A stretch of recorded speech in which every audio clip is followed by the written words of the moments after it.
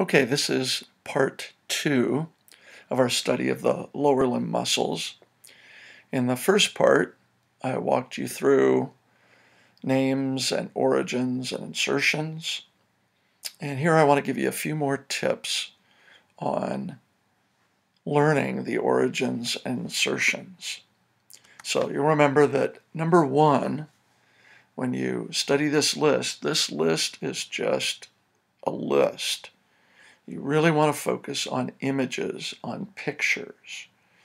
And remember that the beginning of this is to learn the names of each and every muscle. You want to identify each and every muscle on the lower limb and be able to name each one. You have no business learning anything else on this list until you've done that. The second step is to learn the origins and insertions, and I took you through quite a bit of that on uh, part one of these lower limb muscles. Uh, next week, we will tackle these other facts over here and add those, but know that it's always simpler to start with the names, add the origins and insertions, and then add the other details to that as you go. So all of this fits together, but you need to do it in the proper order. So you remember that in part one, um, I showed you that visually we took the iliacus and psoas major muscles and said, okay, how do, how do we focus on these? And we showed how to visualize them. And in visualizing the muscles on the skeleton, you could also visualize the origins and the insertions. And if you know the skeleton, then this becomes very straightforward. Um, so we also, I also took some time and took you through a, a funny little way to remember the muscles in the posterior thigh, the gluteal muscles. And there's, of course, a family there which helps. And so these are tips that will help as you go along. In the next part here, let me walk you through some of the other, the muscles in the thigh and the muscles in the leg.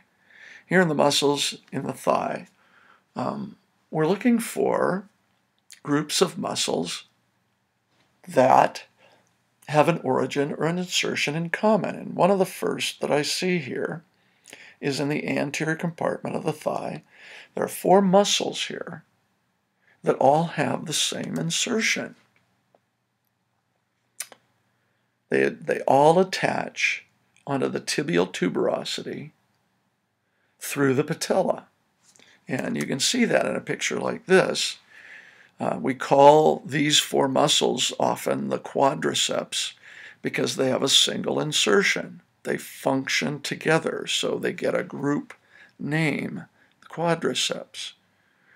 But you can see their connective tissues coming together on the patella, and then the connective tissue from the patella onto that tibial tuberosity. How much easier to learn these as a group rather than trying to memorize them one by one. Another place that you can see that here is in the medial compartment of the thigh. A couple of places here in the medial compartment that are helpful. Um, in the insertion category again, three of the five muscles all have the same insertion onto the linea aspera, onto the back of the femur. And I think in this picture you can see that. Uh, the muscles here in the picture are not attached to the anterior side of the femur, they're attached into the posterior side. Uh, another one that you can see here in this compartment um, are the origins. Three of the four muscles have the same origin here. So I wouldn't memorize, if I got into the thigh area, I wouldn't memorize muscles one by one. I would be looking for the groups first and memorizing those, and then adding the other details as you might. In the foot, um, or in the leg compartment here, this is muscles of the leg. We have to re remember that muscles of the leg um, in fact, everyone except for one, the majority of the muscles in the leg are attached into the foot. And if you look at the muscles and you look at how they attach into the foot, there's three basic groups of muscles here. There are muscles that are attached to the toes, and those are two in the anterior compartment, two in the posterior compartment. They come from the leg, but run right down through the foot and attach into the toes. There are also muscles here that attach into the foot. So, four muscles that are attached to the toes. The other muscles here in this upper section, six muscles here, are then attached into the body of the foot. And then finally, attached to the heel, there are three muscles here at the bottom. So we have specific, and notice they don't fall in the compartments. We have a series of muscles that are attached into the toe, but they're both front and back. We have muscles attached into the foot, and they're front, back, and side. And then the muscles attached into heel, of course, are all in the back.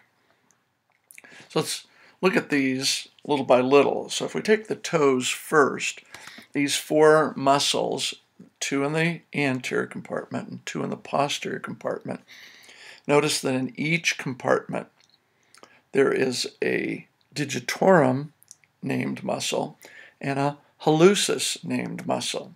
Let's look at that word hallucis for a moment because that's going to tell us something very important. A hallucis muscle is attached to the great toe, which is known as the hallux. Hallux is the Latin term for great toe. So the adjective hallucis refers to the fact that something belongs to the great toe. So both an extensor hallucis muscle and a, a flexor hallucis muscle are present. So that's how you begin to look at these.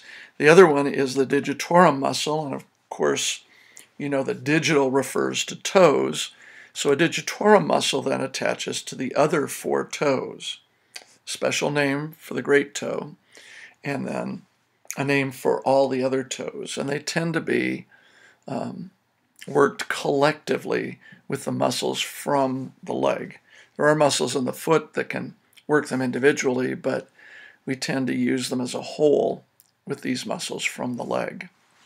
So the four toe muscles here are pretty straightforward when you see that, and their insertions um, become reliable if you know what the name means. The origins are going to be a little more of a challenge, but we can get to that in a bit. Let's look then at the foot. Those bones that fit into the foot, the ones right in here, these are um, muscles that are going to raise the foot and lower the foot, um, tip the foot inward, tip the foot outward. Uh, these are muscles that are making the subtle adjustments to the foot. These are not the big power muscles. These are the muscles that are making adjustments to the foot so that it can fit and contour itself to whatever surface it's standing on. If we look at the muscles right here in this area, hopefully you know the five muscles, I'm sorry, the five bones right in the center there, and then the five metatarsals as well. Um, the four muscles that I've highlighted here are the ones that do the majority of the tipping of the foot side to side.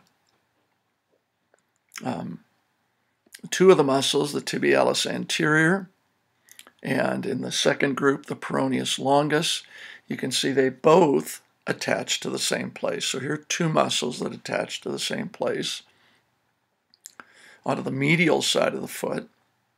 And um, the tibialis anterior attaches from the top, from the dorsal aspect, and the peroneus longus from the inferior or the, the plantar aspect. And then if you look at the other two, the peroneus tertius and the peroneus brevis, they each attach over onto the fifth metatarsal here on the lateral side.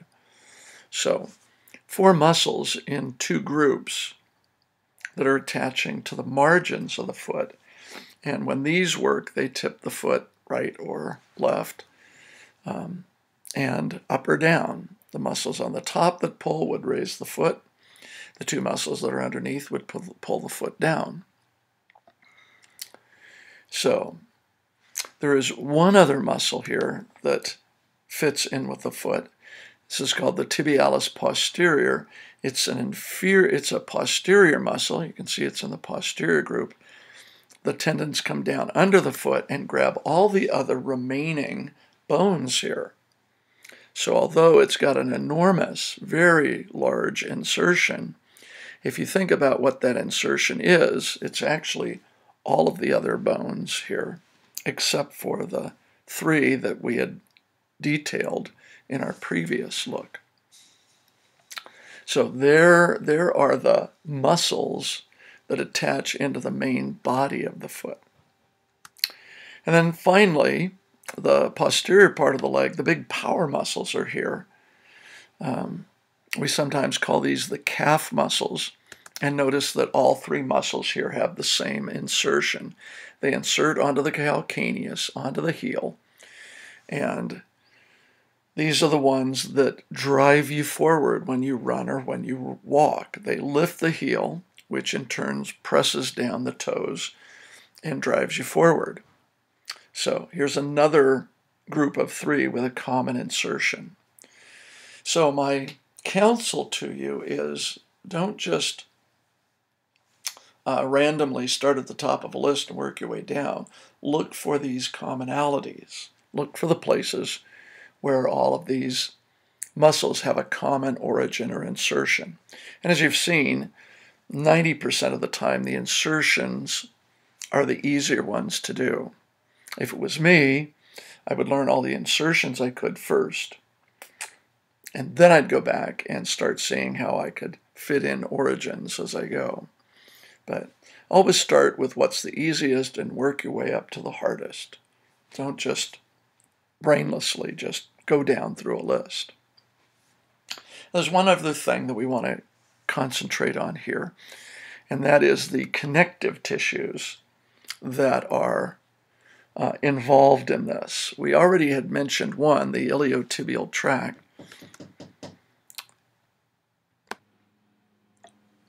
So here on the back of this muscle handout, we have listed five pieces of dense fibrous connective tissue that are significant.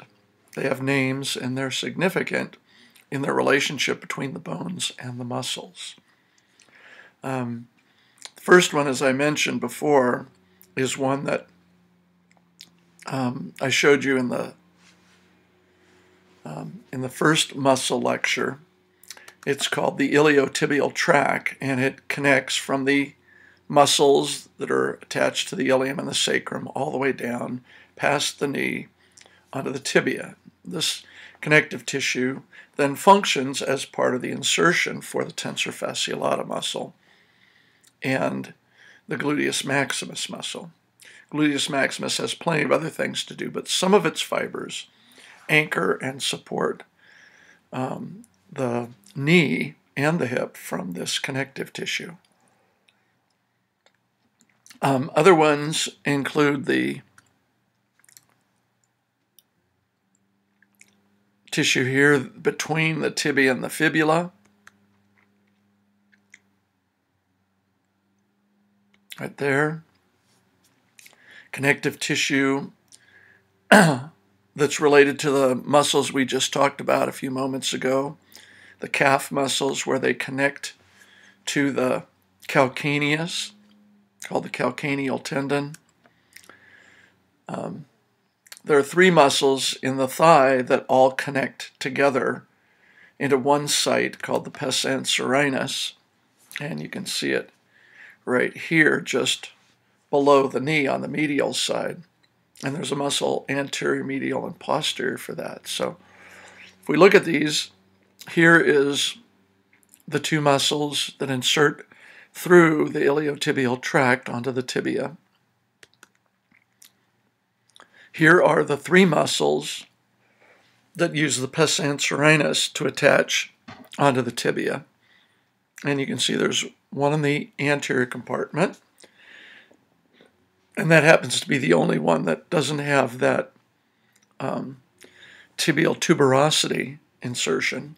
And then there's one in the medial compartment and one in the posterior compartment. So one of each. You might be able to put those together. The connective tissue between the tibia and the fibula is called an interosseous membrane. It's part of the joint between those two bones. The tibia and the fibula are anchored together into a fibrous joint. We call it a syndesmosis. Deal with that in our joint lecture. But that connective tissue then also provides an anchoring site for some of the muscles in the leg, and you can see them here. In terms of compartments, it's not too bad. All of the anterior compartment muscles include the interosseous membrane. None of the lateral compartment muscles do. And then half of the posterior deep compartment muscles include that. And it has to be one of these deep muscles. The, the calf muscles are very superficial and, of course, don't include that. So, IO here that you see in the origin list, IO membrane is not 10, but interosseous membrane, literally the membrane between the two bones. The calcaneal tendon, pretty obvious here, the three calf muscles all attached to the calcaneus through that tendon. So, those are the connective tissues. Those are some tips on how to learn these origins and insertions, both front and back. And uh, I hope you're able to divide this up time wise. Just take a small group at a time, work your way through. Number one, make sure you know all the names, then attach the origins and insertions to them. I think I'd say lastly, make sure you do learn these muscles in their small groups. These groups are going to be very, very useful next week when we talk about nerves and actions. If I can say to you, what are the three muscles in the posterior side of the leg, the superficial posterior side, and you can just, you know what three those are. What are the two muscles in the lateral leg? What are the five muscles in the anterior thigh? If you can do that, you will set yourself up to do very well next week with the information we'll be dealing with then. Okay? So, hope this was good for you, and uh, good luck with that.